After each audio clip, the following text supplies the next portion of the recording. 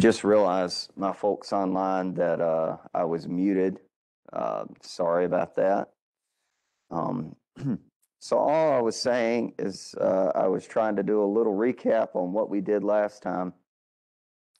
I talked about context surrounding Don Quixote in 16th century Spain, or 17th, early 17th century, late 16th century Spain.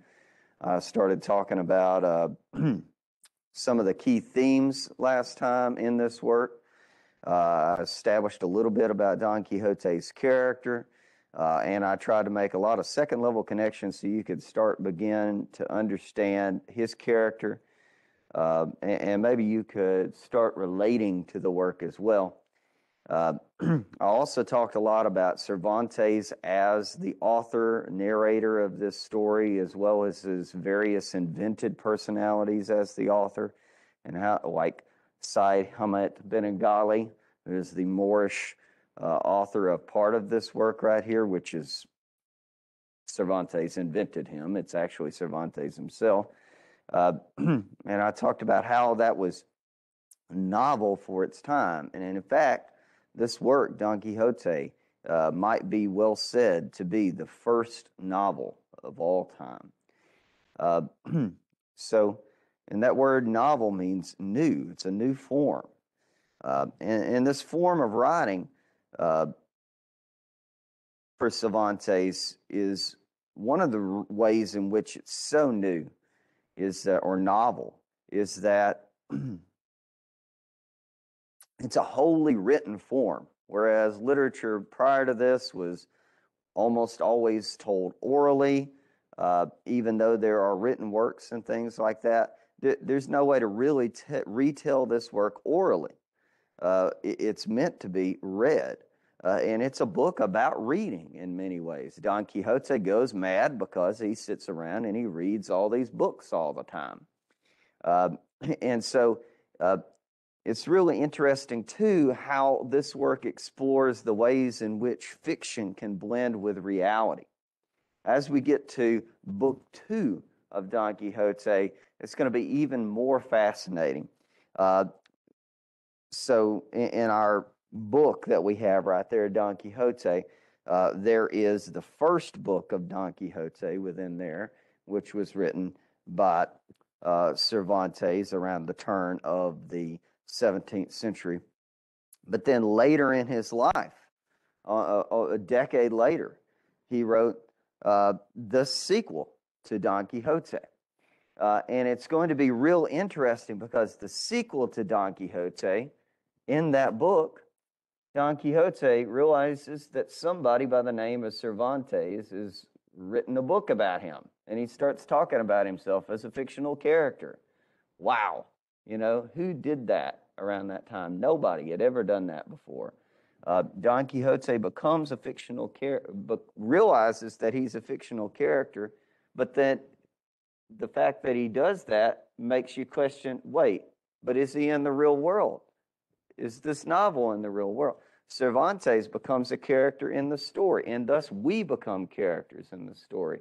It's some of the different ways in which this story is so fascinating in the way that it's told. So I established a lot of that last time. Um, I also established a lot about Don Quixote's character in chapter one. I started walking you through that chapter. Uh, and I talked a lot about the character of Cervantes himself as an unreliable narrator, as an unreliable author. Uh, and that, in many ways, is one of the most uh, telling innovations of this work the, the fact that he's questioning the authority of the author. Um, it's really uh, something that you got to keep in mind as you're reading this work is never to take it too seriously. What happens if you take a book too seriously? Look what happens to Don Quixote, right? He, takes his books too seriously, and every time, every new chapter, we see him getting beat down in some different way. At one point, he later becomes known as the Knight of the Sorry Face. Sancho Panza gives him that title because he's lost so many teeth from getting beat up so many times in these various escapades that he has that Sancho calls him the Knight of the Sorry Face. You can just imagine the emoji for Don Quixote. Um, so fun stuff there. And I started telling you a lot of this stuff in order to anticipate some of the answers on the quiz. And I actually, I think I walked you through the matching portion of the quiz, and I started walking you through the identification portion of the quiz as well, especially in relation to Don Quixote and uh, Cervantes.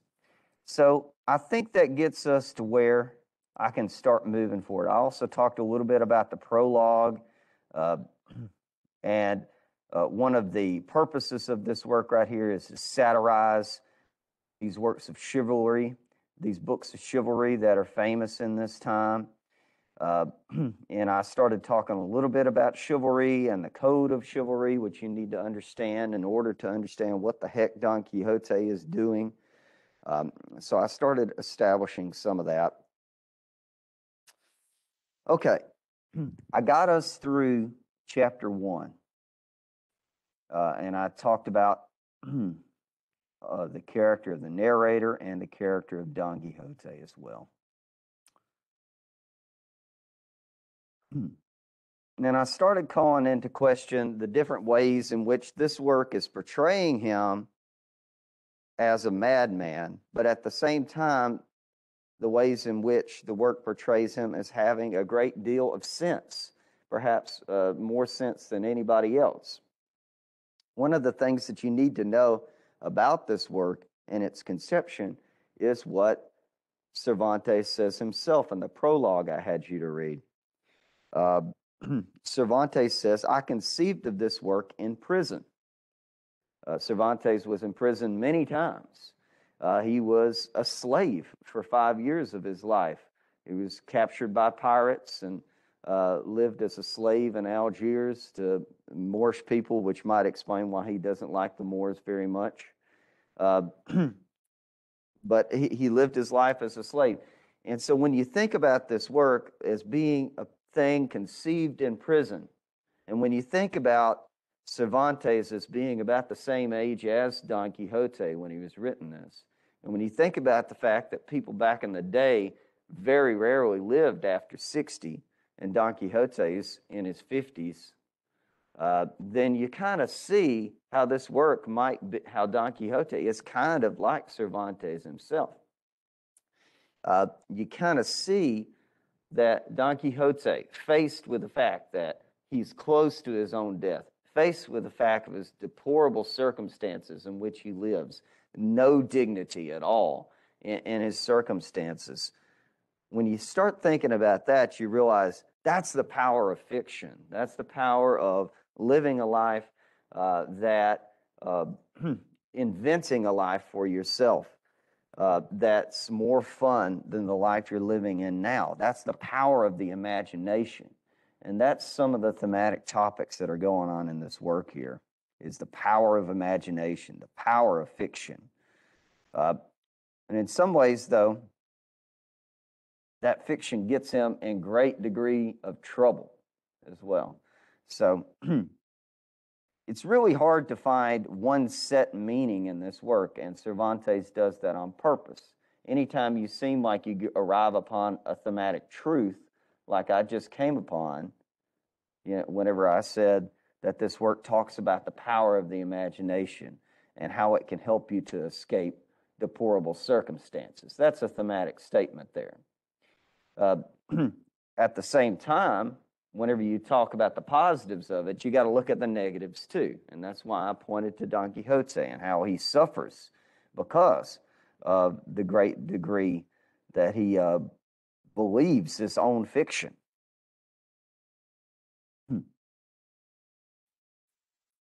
Okay, uh, I defined what a knight errant was as well And we started talking about Dulcinea del Toboso, Toboso, who is his lady love uh, that he has basically never met. There's different presentations of Dulcinea in this work, at least three different ones that I know of, uh, where she's a completely different person.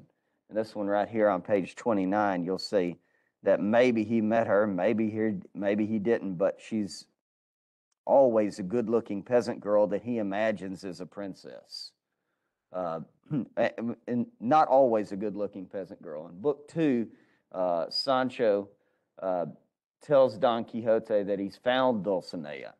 And since Don Quixote in that book has never seen Dulcinea, uh, he's like, well, this is her.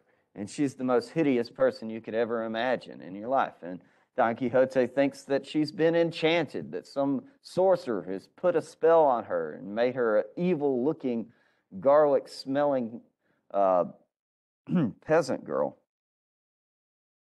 so it's fascinating. But Don Quixote, who, keep in mind, his reality is so dismal. But this life that he creates for himself is so exciting. I mean, every young boy wants to go out and have an adventure, you know, wants to be a knight in shining armor. Uh, and Don Quixote is not a young boy, but uh, in some ways, the work is arguing uh, about what old age is like as well. How can we uh, have dignity in our old age or find adventure in our old age? Okay, so Don Quixote leaves home. Like we we see the gray alert. Is that what it's called? Silver alert. Is that what it's called when a when an elderly person escapes the nursing home or something like that? The silver alert. Uh, that's what happens with Don Quixote here. He escapes his home, and his uh, niece and his housekeeper and all his friends are worried. Oh no! What has he done again? He's gone off. Uh, and he's taken this armor and everything. Um, so he mounts Rocinante, and this is his purpose right here to redress grievances, to right wrongs, to correct injustices, to rectify abuses, and fulfill obligations. These are all pretty good purposes right here. These are, when you look at it on the surface of things, it's hard to argue that to right wrongs is a bad thing. Uh, Don Quixote goes out and he's got a good purpose in mind. Uh, he he also has some selfish purposes. Uh, you look in the previous you know thing right there. He wants to be an emperor. He he imagines great fame for himself. Uh, so he decides to go out uh, without telling anybody his plans and he goes out in the heat of July and he gets so hot that his brain turns to mush. Uh,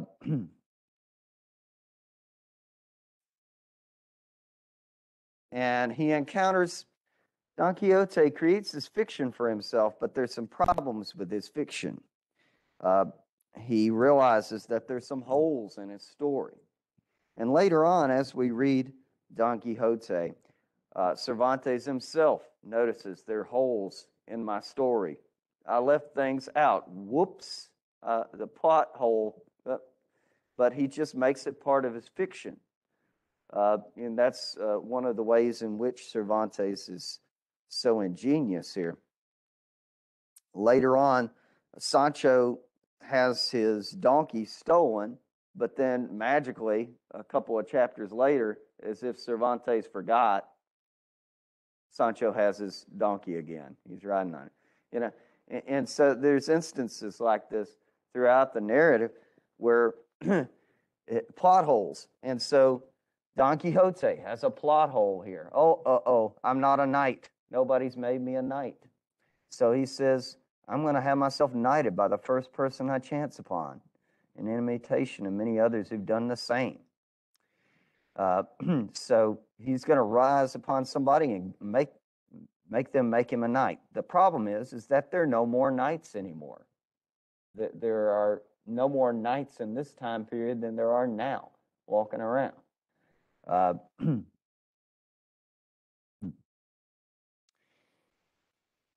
so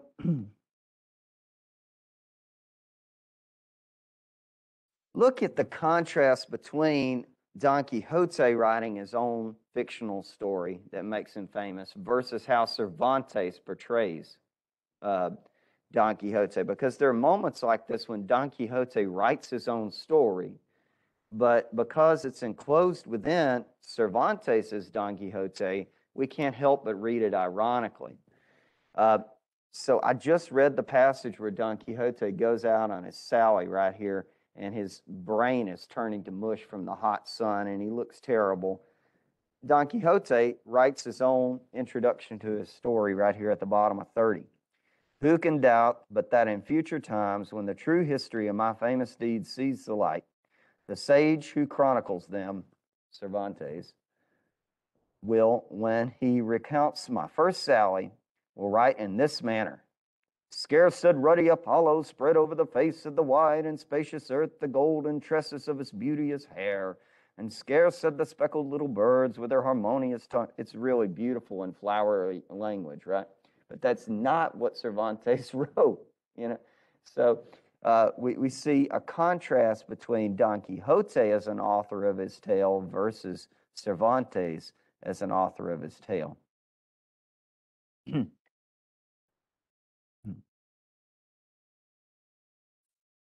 so we, we, we see a little bit of discussion about the golden age versus the bronze age. And this is going to be pretty important.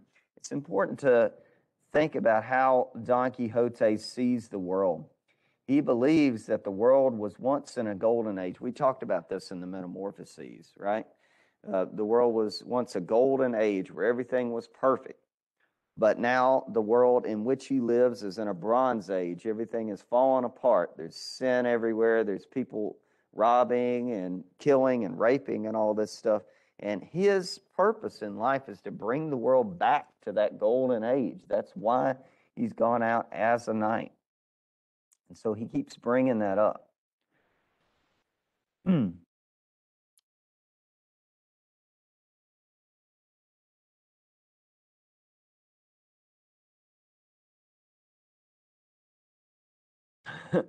you see the contrast of the narratives again right here. Uh, he's talking about, oh, Princess Dulcinea, mistress of this hapless heart, great injury have you done to me in reproaching and dismissing me. Uh, and then we see how Cervantes says he strung these absurdities together with many others, all in the style of those he learned from his books. This made his progress so slow, and the sun was rising so fast that his brains would have melted if he'd had any. So, uh, at times, Cervantes is very cruel to him.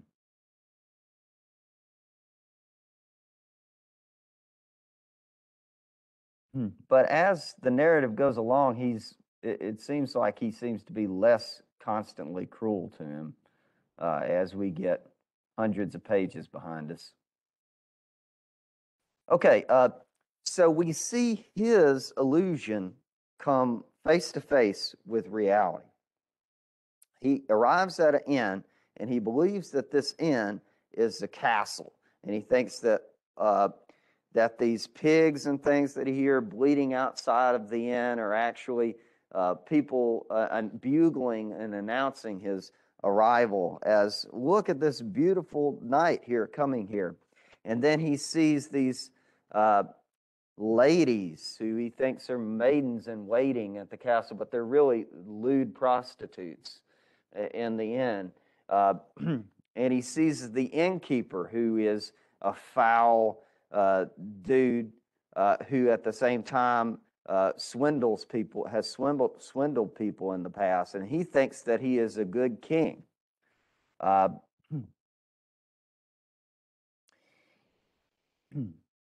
and he talks to people in this high flowery language that he learned from his books. He says to these prostitutes who he thinks are ladies, Moderation befits the fair. Furthermore, laughter which springs from a petty cause is a great folly. Uh, he says that to her, and they say this language which the ladies didn't understand, together with the sorry figure cut by the knight, only redoubled their laughter uh, and his wrath. So, Don Quixote, when you look at his character, he is one of his faults is that he's very quick to anger. Uh, he's very wrathful and angry, especially when people make fun of him, right? Uh, and they're making fun of him because, what are you, an idiot? You know, who talks like that? Uh, Don Quixote thinks that people talk that way all the time. He's convinced himself because that language is more beautiful than regular language. Uh, and that makes him very angry. Anytime somebody challenges his reality, it always makes him very angry. Uh, so when you think about it that way, it might make him a little bit more relatable there. Uh, anybody comes up, have you ever had people come up and tell you you're wrong? You know, it's like you, you just have no clue. Uh, and I mean, that makes sense. I, I, can see how that would be infuriating, especially if people tell you that all the time. Uh, but he, time and time again, he runs into people like this innkeeper who uh, who are willing to play into his illusion. Uh, different people do it for different reasons. Some people do it in order to help him later on. Uh, the barber and the, his niece and cats like that try to play into his illusion in order to try to help him. But other people will play into his illusion in order to make fun of him and deceive him. Uh, and, and that's exactly what this guy does right here.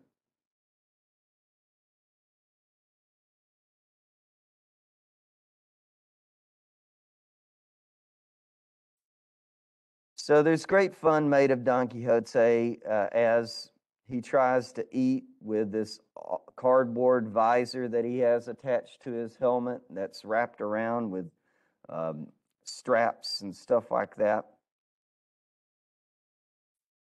And Don Quixote is very happy, even though he's eating black and moldy bread that he thinks is the best food ever and the worst cooked salt cod and stuff like that.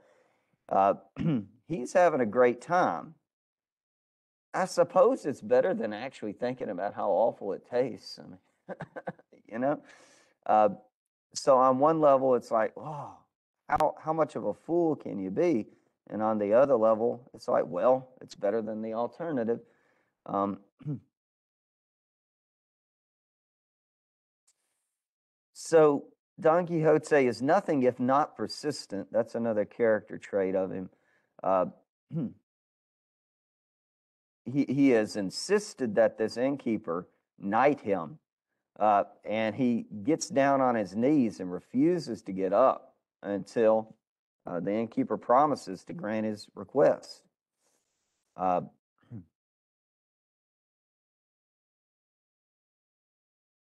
So the innkeeper comes up with a big joke to play on Don Quixote. Now, people will do this time and time again, and sometimes these jokes backfire on them, and sometimes they don't. In this case here, uh, the joke backfires on the innkeeper pretty well. Um,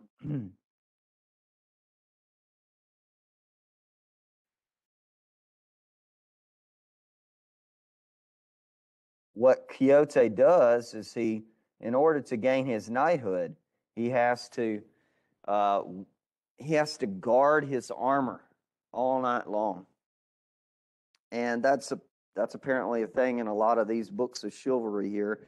They have to guard their armor uh, to show watchfulness and duty and diligence and all that stuff. And Don Quixote, he lives right up to the task. He watches the armor. He won't let anybody mess with it.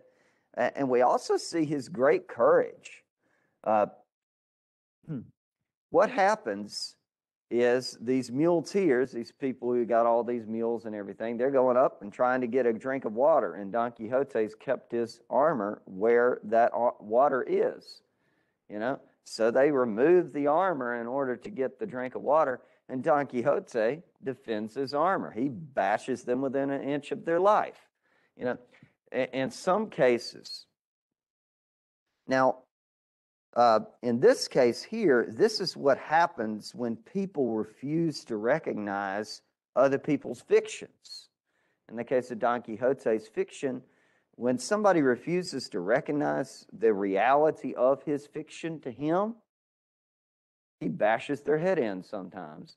Uh, but on the other case, uh, it happens back to Don Quixote as well whenever uh, he runs into somebody, you know, who's stronger than him or who's ready, you know, and won't accept his uh, reality, sometimes he gets knocked into rubble by reality. So uh, it's a really interesting play that goes on there. There's a violence between fiction and reality going on.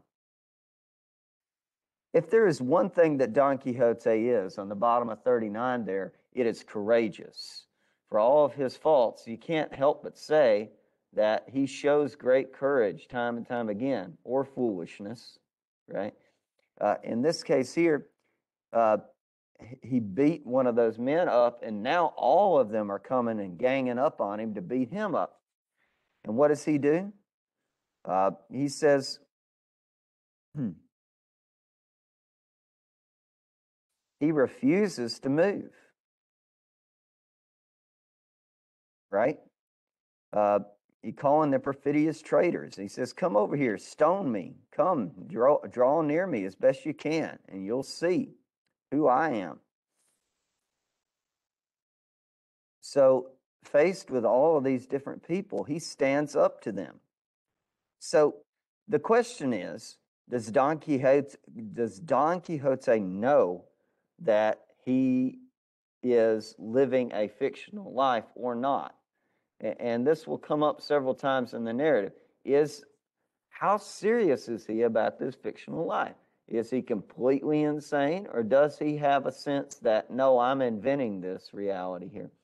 In moments like this, it seems like he believes full heartedly uh, that uh, he is a knight and that he's facing all of these evil people uh, that, that have come to uh, keep him from being a knight. And he stands up to them, he's willing to die for it.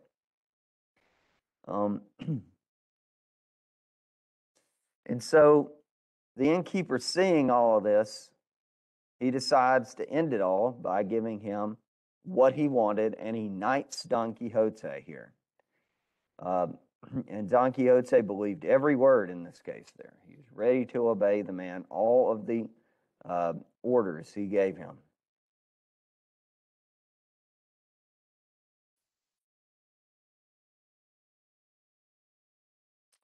Okay, uh, chapter 4. As we get to chapter 4,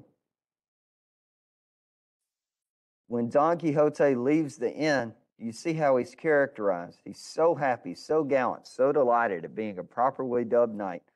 The very girths of his horse were bursting with joy. Uh, so he decides to go home to get some money. And what happens?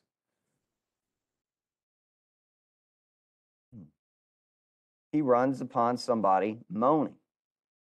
Now, here we have an instance of Don Quixote trying to right wrongs. And we see this several times in the narrative. And I'm going to read you, have you to read another scene where he tries to right a wrong. Uh, and he does a very poor job of it.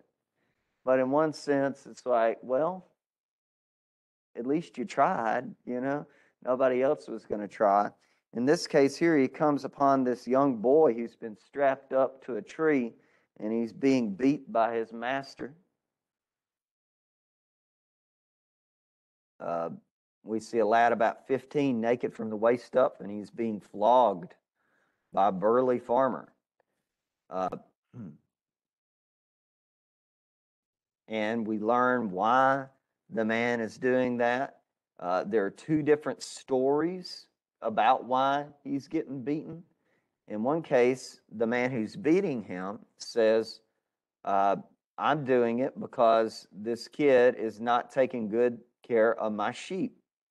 And the boy says, No, he's doing it because he doesn't want to pay me his wages that he owes me. Uh, and we do learn that he hasn't paid those wages as well. Uh, so it's kind of hard to blame the lad for not doing a very good job that he's not being paid for, in one sense. Uh, Don Quixote makes the argument Discourteous knight, it ill becomes you to assault one who cannot defend yourself. Mount your steed and take up your lance. Uh, I shall force you to recognize your actions as those of a coward. So, if there's one thing that Don Quixote hates, it's cowardice and he sees this farmer. He imagines the farmer is a knight. And he imagines that this farmer has the same code of moral virtue that he has. And this is his mistake ultimately. He assumes that everybody else have this same moral code that he has, but in reality, in the real world, people don't have a moral compass. We time and time again we come upon people in this real world that don't have a moral compass. But Don Quixote has a moral compass, and that's one reason why he's relatable, but it's another reason why he messes up a bunch of times. So he tries to defend this lad who's getting beat up here. Now, in the time period, most people would have just let him do what he wanted because that's his worker, it's his servant. He can basically do whatever he wants to to him. But Don Quixote doesn't live by those rules of society. He has a different idea of what's just. Um, and so Don Quixote shows himself as the defender of the weak. Uh, and the farmer uh, swore by the tight corner he was in and by the oath he'd already sworn. He hadn't sworn any oath at all. And it wasn't as much as all that. And so he says, I'm not going to keep beating this guy. I'm going to let him go. Uh, just don't kill me with your lance there.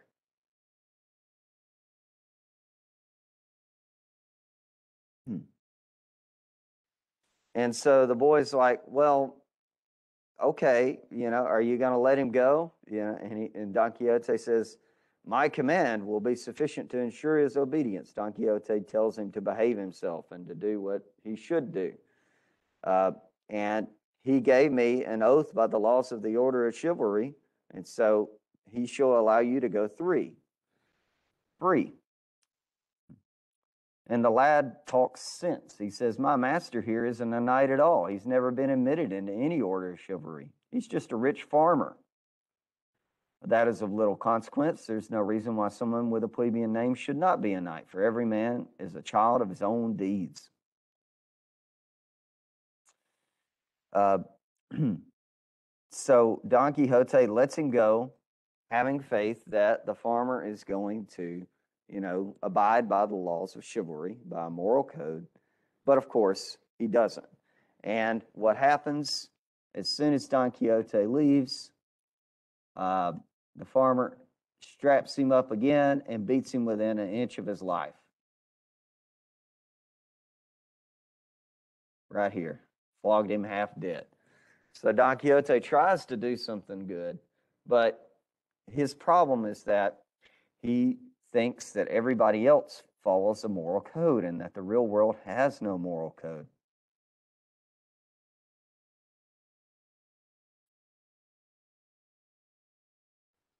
So what are we we're, we're trying to get a thematic statement out of that. I mean some people walk around living their lives uh, a, as if everybody you know is going to do the right thing that they have faith that people are going to do the right thing and stuff like that. And so they, they make actions accordingly. But in reality people, a lot of people are out there not to do the right thing. They're out there to hoodwink people and to steal and abuse and trick and all of these things and, later on, Don Quixote is going to free some criminals who are, you know, being held captive uh, and stuff like that. Don Quixote believes their story, believes that they're going to do good and all that stuff. And as soon as he turns around, they beat him senseless. Uh, so we're going to see this.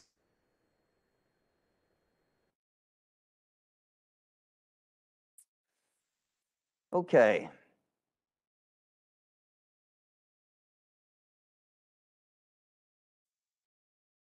So some people seem to think that the real world is just as fair as heaven.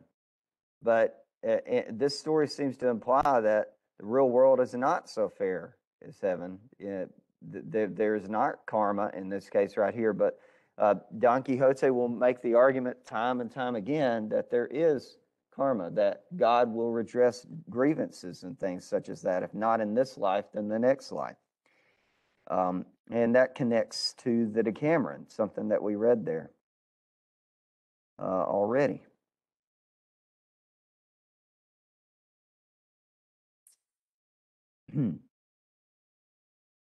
Don Quixote, one thing that he does is he's, he, he keeps riding upon people uh, and keeps demanding that they admit that Dulcinea is the most beautiful uh, person on earth.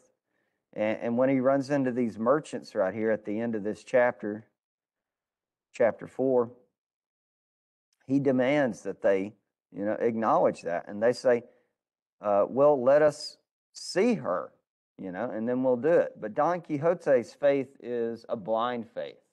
He says, no, if I let you see her, what merit would there be in confessing that truth there? So he says, you have to believe without seeing. And, this, in instance, is very similar to uh, faith in, in, in God uh, that we were reading about in the Hebrew Bible and stuff like that. Uh, there's a merit, there's a value in uh, faith without seeing. Uh, and that really defines Don Quixote and who he is. He believes that he is a knight without seeing it. He believes that this is a castle without seeing it in reality. Uh, so it says says a lot about the way he views the world.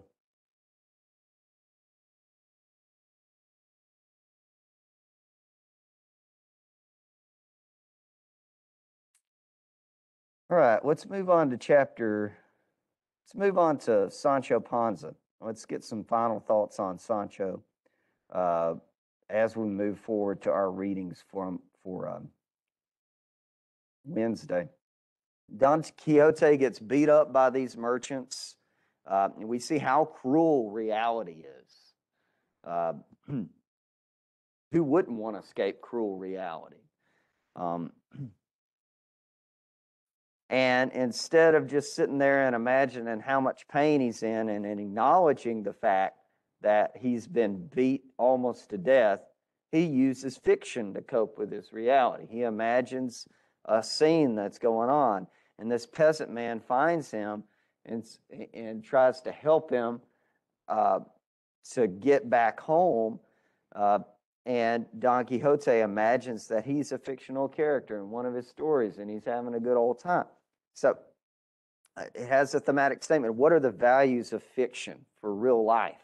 In one of these cases, again, we see how it allows us to escape harsh reality. Uh, All right. Don Quixote goes home, and it takes weeks for him to start feeling good. Okay? It takes weeks for him to start feeling better. Uh, in the meantime, while he's kind of passed out, uh, we see uh, the priest and the barber. These are uh, Don Quixote's friends, and we also see uh, his niece and his housekeeper, they, they plot together to try to cure Don Quixote of what he's going through. And I don't think I can get to Sancho Panza today because I got to talk about this chapter here. Uh, in chapter 6, their plan to cure Don Quixote of his madness is to burn all of his books. So they think, well, the books are the source of his madness. So if I burn the books, then that's going to cure him. Now, they're the authors of the mischief. And in one sense, you know, Cervantes has already said that he hates those books of chivalry in the prologue there. But I told you last time that he had to have read them all in order to, you know, end up scrutinizing them. So he probably enjoyed them, you know, but uh, on the surface of one thing. Uh, And you know, in one sense, of course, Don Quixote is crazy, right? But uh, the housekeeper has an illusion as well. The housekeeper is just as suspicious and, and mystical as Don Quixote as well, but they don't call her crazy. Uh, whenever he says that he's going to go in there and burn the books, she says, Here, Reverend Father, take this holy water and sprinkle it on these hordes of enchanters from the books here. So she thinks that the books actually have enchanters in there. So we see that Don Quixote is not the only one that thinks that these books have a power. She uh, has a belief in a false mysticism as well. So the priest laughs at her simple mindedness. Now, look at, if you want to know how the narrator feels about this, when they're about to burn the books right here, it says, so anxious were they to see those innocents massacred. So the narrator, it seems like he's arguing, at least in this part right here, that the books are innocent, which is a contrast to what they're saying there. It's Don Quixote who is the author of his own madness, not the books. Uh, now, th- there comes to be a really kind of hilarious uh, discussion here about now that they're decided to burn the books, that they start asking, well, do they all deserve to be burned? And so they go through them one by one, and they're trying to figure out why some books should be burned and why others shouldn't be. Of course, Cervantes, as, as Cervantes as a lover of books, you know, and me as a lover of books, uh, and you know, considering well, that I hate the idea of book burning at all, you know, I, I see this enterprise as a, you know, I don't like it very much. Um, so they decide to burn some books and they decide not to burn others. Among the books that they decide to not burn is a book by Cervantes himself, Galatea. So here's another instance where uh, we get uh, some right here, Galatea by Miguel de Cervantes is a book uh, that they're not going to burn here. and it's self reflexive in this sense right here. Cervantes is often critical of himself. Uh, he says right here, the priest says, That fellow Cervantes has been a good friend of mine for years, and now he's more conversant with adversity than with verse. His book's ingenious enough, it sets out to achieve something but doesn't bring it to a conclusion. You know, uh, maybe we'll pardon it. I don't know if he can get his act together. so Cervantes, in one sense, here Cervantes puts himself into this fiction. But by doing that, Cervantes is a character in the real world, right? We accept that. But aren't we in the same world with him? Or if we were born 500 years ago, you know, uh, in that sense. Uh, so, in this sense, the reader becomes a part of the fiction itself, and that, that's a really neat uh, aspect of this right here. It calls us to question what is really fiction and what is really real. If we say that we're real, we recognize that this is a work of fiction, then how is there you know, a real person in the work of fiction? So it the thematic statement is uh, how hard is it to separate reality from you know, from fiction? Where does the line begin? Okay. Now, in the chapters that follow, in the second sally, which means Don Quixote is going to go out again, they burn the books but it doesn't stop him. They, they tell him that some dragon has come and taken them off, you know. Uh, it, but it doesn't stop him. He goes out again, you know. Uh, and this time he takes Sancho Panza with him. And now Sancho Panza is going to be the great fool uh, for uh, Don Quixote. He is, Sancho Panza is equally deluded as Don Quixote. Uh, because Don Quixote, here is where Sancho becomes introduced in chapter 7, page 61. Uh, we see that Don Quixote tells him that if you come out with me and go on this adventure with me, I'm going to make you the governor of an island. You're going to be a, a great ruler. You know, and, and Sancho Panza is this poor peasant who, in some versions of the tale, spends his days shoveling poo. That's the only way he can get money. Uh, and so he's little short of salt in the brain, right here, is how he's described right here. Uh, so he's not very smart. Uh, and Don Quixote deludes him into thinking that he's going to be the governor of an island. It's like, so he's just as crazy as, you know, Don Quixote for believing the crazy man and following the crazy man. But the irony is that in book two, Sancho Panza does become the governor of an island, if only for a little bit, right? And we're going to read a little bit of that. Look at it's going to be fun to see how well Sancho Panza does at actually governing an island. He does better than anybody else before him. Um, but Sancho, and this is what I'm going to leave us with, he's a peasant. And heretofore, works of this nature have always criticized the lower classes, classes and people like that as being sources of evil, corruption, and not worthy and stuff like that. But Sancho Panza is uh, novel because he's an honorable man. Right there, if a poor man can be called honorable. And he's got his tongue in his cheek there because Panza does have a great degree of honor. We could see that in dignity in this work, even though at times he has no dignity at all. But there are moments. Uh, okay, and Panza is going to be uh, Don Quixote's companion as we read forward. Now, let me give you a look forward to Wednesday.